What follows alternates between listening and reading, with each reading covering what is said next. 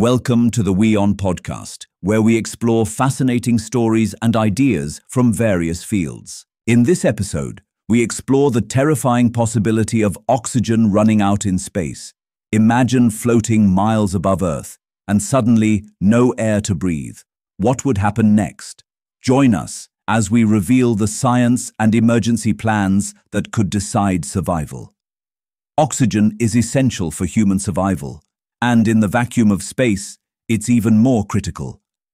Astronauts rely on sophisticated life support systems to provide breathable air. But what happens if these systems fail or oxygen runs out? Understanding the protocols and technologies in place to manage such a crisis is vital for the safety of crew members on long-duration missions. Spacecraft are equipped with Environmental Control and Life Support Systems, or ECLSS, which regulate atmospheric pressure, temperature, humidity, and provide oxygen. These systems use technologies like water electrolysis to generate oxygen and remove carbon dioxide from the cabin air.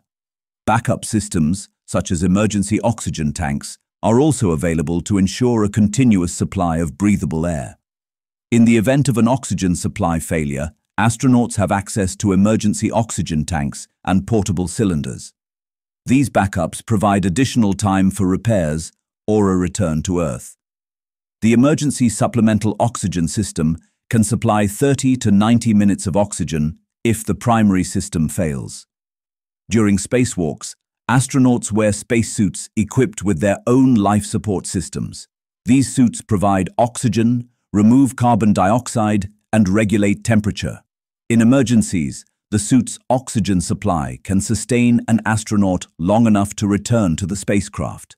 Astronauts undergo rigorous training to handle emergencies, including oxygen supply failures.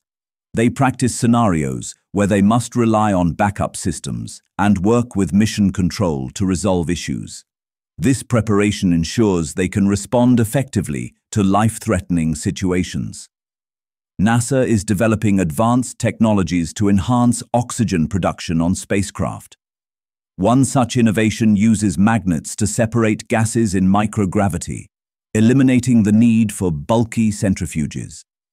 This approach is more energy efficient and suitable for long-duration missions to the Moon and Mars. While the risk of running out of oxygen in space is minimal due to advanced life support systems and rigorous protocols, the potential consequences are severe. Continuous innovation and training are essential to ensure the safety of astronauts on all missions. Thanks for tuning into this incredible story. If this episode resonated with you, don't forget to hit the like and subscribe button for more captivating stories to come. Stay tuned.